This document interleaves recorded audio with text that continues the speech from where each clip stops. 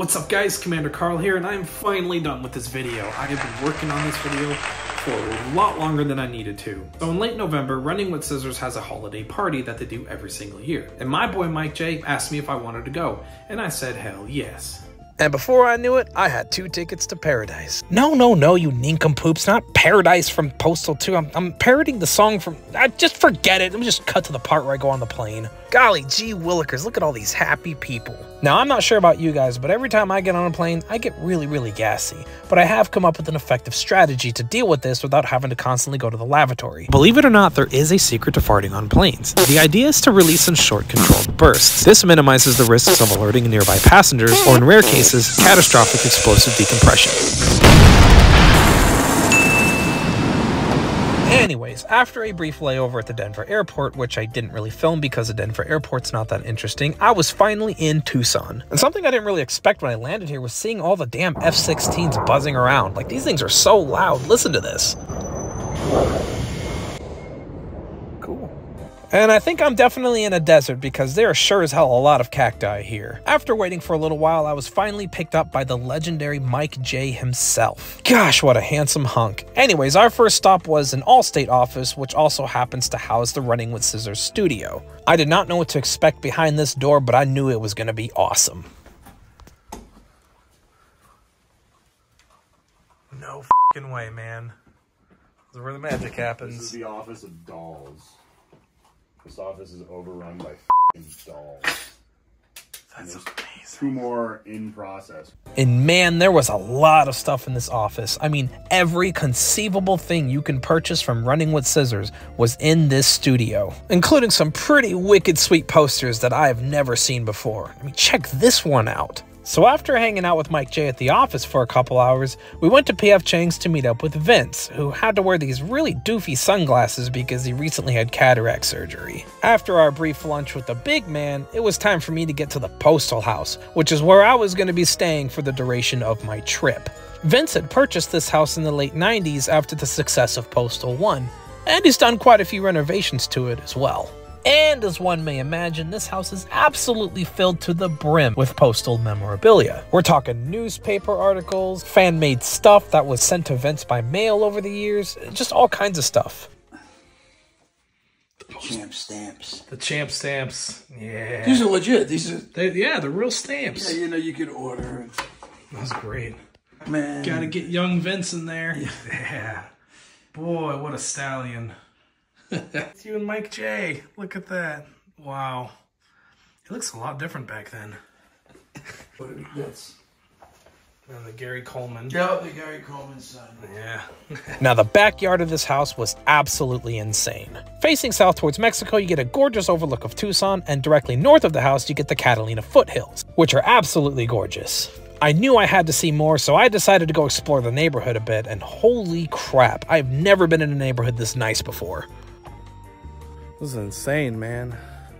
The next day, we headed out to a place called Redington Pass, which is basically federal land that you are allowed to shoot on. Mike J invited his buddy Big Mike, who brought some heat, to do what Mike and Vince like to do most shoot holes in signs.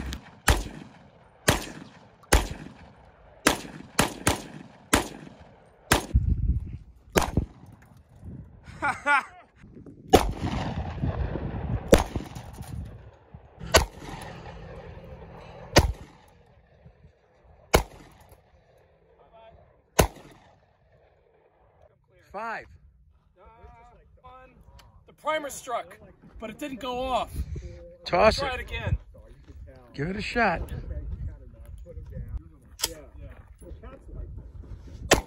There we go.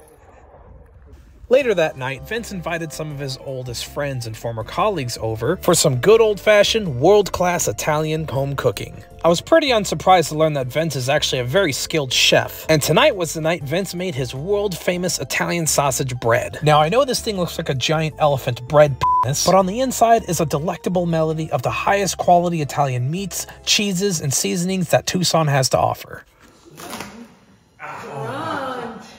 That's when you know you're on. Look at this. Look at that Stevens. It looks like a giant knish. The next day was my final day, and Vince wanted to take me down to the basement to show me something really special.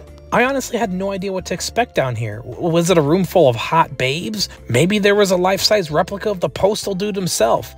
Maybe Vince was gonna kill me because I've seen too much. Speculation aside, one thing I knew I was stepping foot in a very sacred place. And look what Vince had stuffed away in the corner.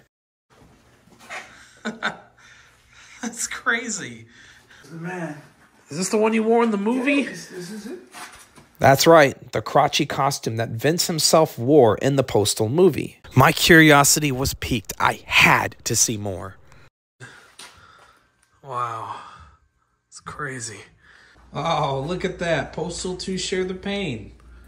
You know, I actually never played this, I, I don't think. Hmm. Gather round. I'm sharing the ED with everyone. You think this doll is funny? Does it amuse you?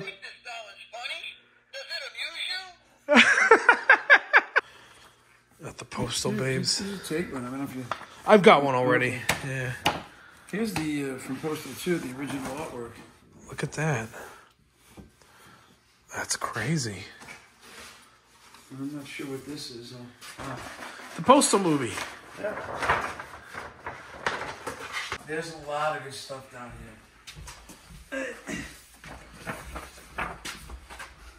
Wow. I Japanese. One of the original signs. That's the original. Oh, that's for rent. you know, we got that too. You know what I mean? You know, Yeah. for rent. You get, This you is get it all, you know? Korea. Postal Plus. Postal 3. Oh, classic. This is the original. Wow. I love how there's actual holes in the boxes. Yeah, boxes. that's uh, we want packaging. That's really cool. This copy of Postal 2 with the whiptail logo. The postal clock, yeah. Here's Gary Sneaker, man. Gary Sneaker. Yeah, it's right here. What is it? You got it? Right here. Gary Coleman's sneaker with the little mocap things on it. That's right, folks. Gary Coleman wore these sneakers for Postal 2. Gonna smell them. the feeling I had in this room was indescribable. It was like a window into another man's life, his hard work, his blood, sweat, and tears over a period of 30 plus years. This room wasn't just postal stuff, it was everything throughout Vince's life his work while at Atari, his work on children's entertainment games at RSP. I felt like I was at a really cool video game museum, except you could pick up touch everything. Being in this room and having Vince show me so much postal stuff, you, you, you can just tell that running with scissors is his life. It's his baby. And it's a baby that he's kept alive since the studio was founded in the late 90s, which makes Running with Scissors one of the longest running indie game development studios around. And Vince will be the first to tell you there's been some close calls, but this man has managed to keep the lights on for over 25 years, and I had to know how he managed to do it.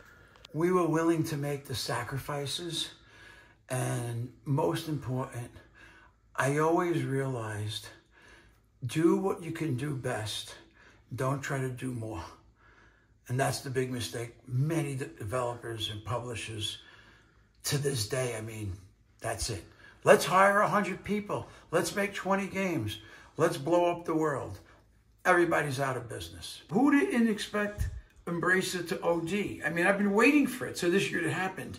You can't acquire a hundred studios in five years and expect to be in business. I mean, there's just a common sense here, but you know, when you got investors' money, it's not your money. I, I don't understand. I still deal very much, uh, you know, in my world, one plus one is eleven.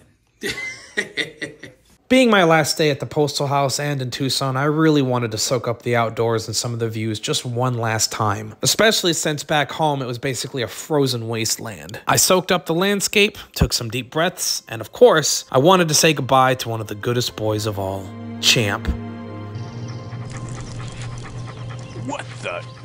Ah, stupid dog. Good boy. Good boy.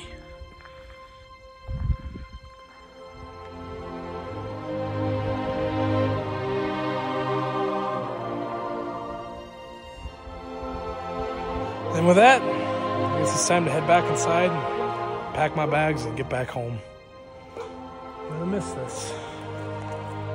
Definitely gonna miss these views.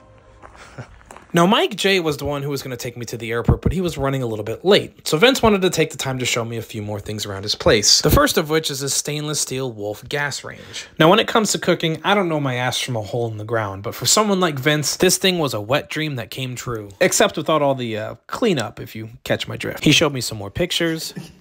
Ah, My sister's wedding. I got to see his wardrobe, which housed all of his prized suits and hats and shoes and all the stuff Vince likes to wear on occasion. I even got to see his official director's chair from the Postal movie, which was pretty cool.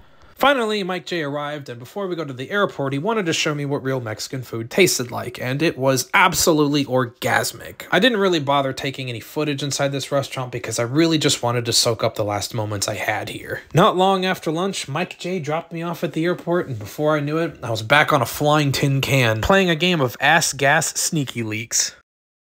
And that's it. That's most of the Tucson trip. I actually didn't film everything I did um, because, as you guys know, I'm not some hotshot YouTuber with a camera crew that follows me around everywhere. So I had to film all this myself, and I really wanted to be present for some of the moments. But I managed to film everything that I, I felt mattered. So I thank you guys so much for watching. I really hope you enjoyed this video. If you like this video, please share it and be sure to like, subscribe, and all that jizz jazz, you know, whatever. All right, that's all the time I have today, guys.